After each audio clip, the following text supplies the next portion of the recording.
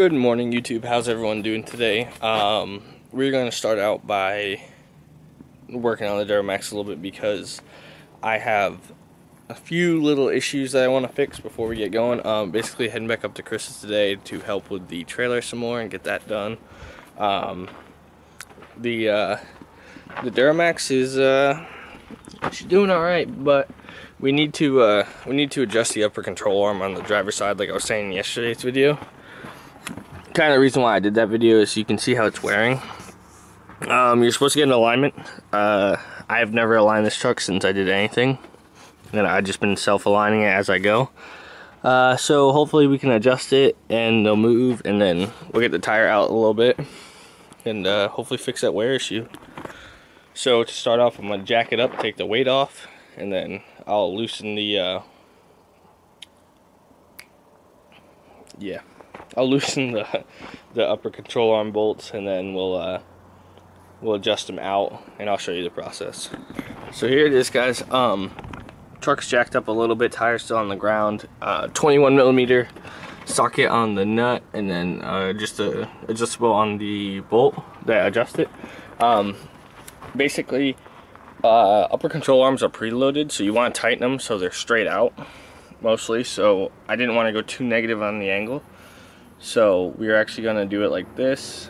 I'm gonna break both the bolts loose and then uh, we'll adjust it, we'll move it out a little bit and even if it goes out too far, it doesn't really matter. We'll just wear the outside of the tire first and then adjust it a little bit. Um, sorry if I'm really groggy. I haven't had Dunkin' yet, so I'm trying to get this done before I leave. I gotta wash my truck and then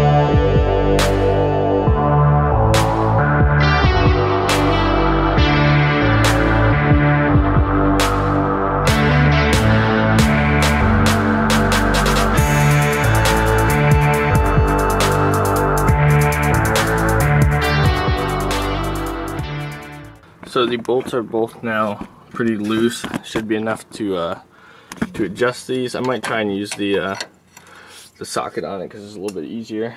But basically, you want to bring. I think you want to bring them up. I always get confused on this part, but hold on here. Pain in the ass to do with one hand.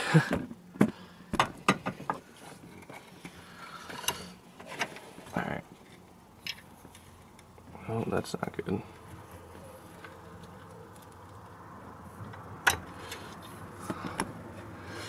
See, the problem is this truck's all rotted, so I don't want to move. Alright, well, because these bolts are rusted to shit, I was able to get this one adjusted, but I had to take this pry bar, pry up behind there, push it out with my body, and then tighten it with the wrench. So now I'm gonna do the back side. Hopefully it's a little easier. And then uh, once that's done, hopefully it's good and hopefully the tire wear straightens out a little bit. I think the bushings are shot. I need new upper control arms anyway, so we'll see.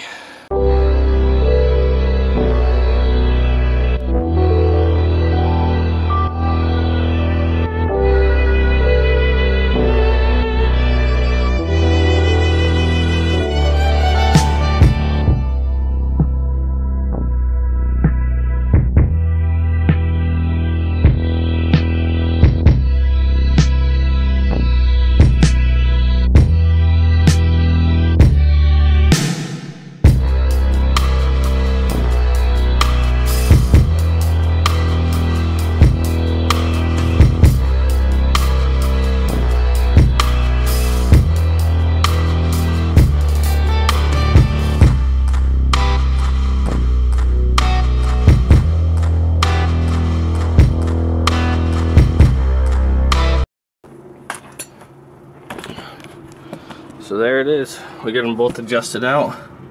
Hopefully it's enough to make a difference. So like I said, loosen the nut, turn the bolt whichever way you need to go, up or down. And now you might need to pry and persuade a little bit, but hopefully that does it. We'll set it down and see how it looks. All right, so I had a theory and it worked. Worked. Uh, I wasn't sure if it was going to, so I waited to say anything about it. But the uh, so with that control arm being like super cambered in, my tie rods almost looked like they were like, they were out. like one tire was off from straight. But now that it's square, like, I don't know if you guys can see too well, but it's pretty straight now. And so is this side. So, stance game on fleek, but everything should be, uh, should ride a hundred times better now and hopefully not wear down the side so much. So that's a quick way to adjust your upper control arms. I'm gonna wash my truck real quick and then we're heading out. I gotta get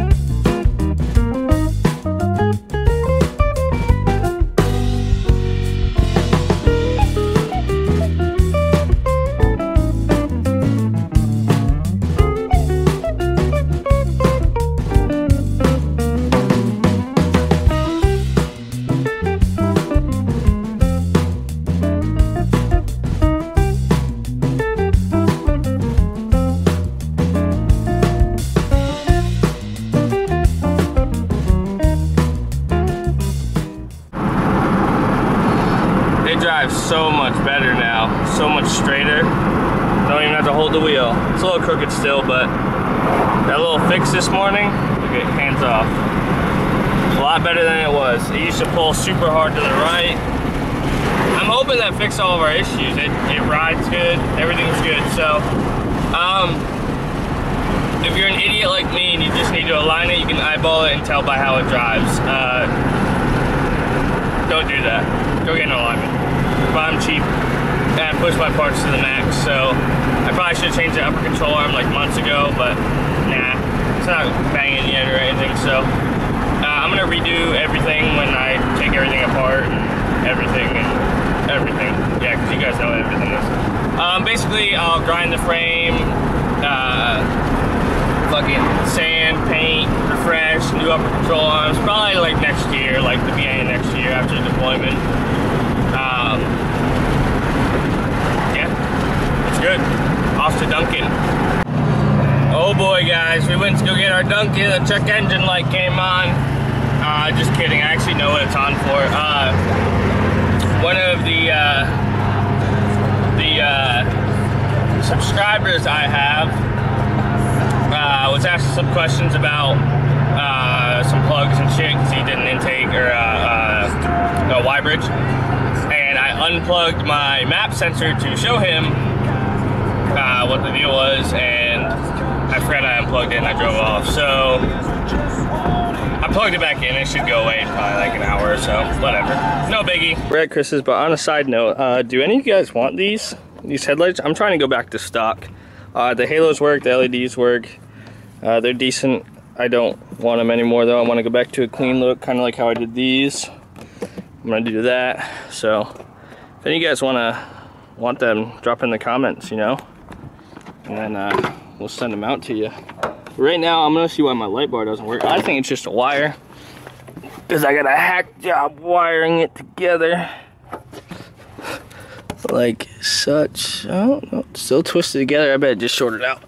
So there's probably a fuse. So I'm gonna look for fog lights right there. I can't see. I even got too big of a fuse in there. Hold on, I'm gonna pull it out. Woohoo! It's fucking hot today, boys. It's hot. Some needle nose. Son of a bitch. Hmm. Still good. Why in the world would my light bar not be working? Unless this relay's bad. Best way to test is, if you ever need to test relays in these trucks, just pull them out. Oh boy. How the fuck? I don't even know how the fuck I'm gonna do this. Here's the windshield washer one. We'll, we'll swap that one in there, that's fine. Fuck the horn though, you don't really need it, but. Oh, these are actually different. I wonder what the difference is between 8567 and 8866. I don't even know how to tell. Whatever, we'll try it. it. Blows up, what's the worst that happens? I got a fire extinguisher.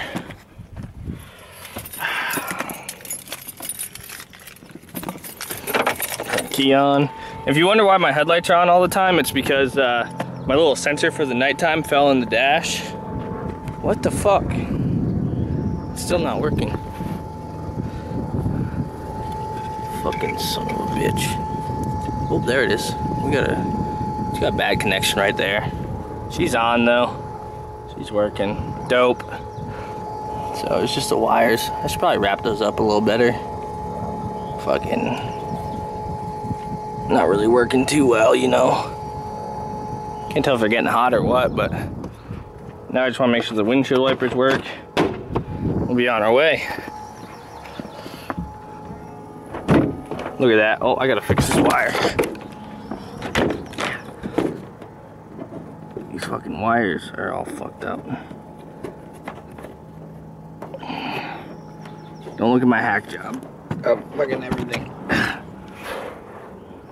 All my LEDs work. Bam, back in business. I'm trying to get new headlights today though. Sweet, one thing done.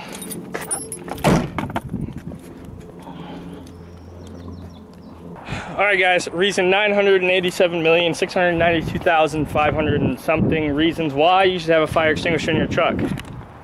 We almost just burned the whole yard down. Uh, we fucking, I was welding on the top of the trailer. Some of this fucking dry brush, dry California brush just lit on fire. And uh, thank God I had a fire extinguisher in my truck because uh, it was real bad. It was about maybe 10 seconds and this whole area burned and it was just doubling. And uh, but my little fire extinguisher was able to put it out. We had another one that we used earlier. So that's two fires today. That's two fire extinguishers from my truck that I've used and successfully saved a life. So we almost fucked some shit up today. I think I'm done welding. Uh, so guys, fire's no joke. Keep a fire extinguisher in your truck. I'm surprised no one came out and saw that. There was, there was a lady out. What, down the road? She was at her car, yeah. Yeah, I'm surprised she didn't fucking come down and see the forest fire or whatever. Yeah, I know.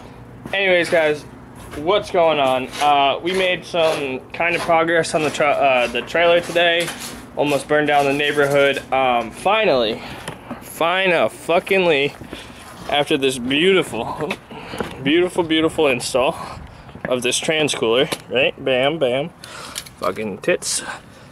we cut off the old trans cooler in the shitty spot. No more ass shit. So that's gonna do it for today's video, guys. Sorry we didn't really uh, get too much of the, the grinding and welding. It looks like ass anyways, so you really don't wanna. we still gotta work on it. Uh, it really wasn't worth anything. Um, I almost lit the camper on fire, uh, the trailer on fire, uh, the ground on fire. Um, basically started a forest fire. Thank God we had two extinguishers because fuck it, I gotta go buy another one tomorrow just in case.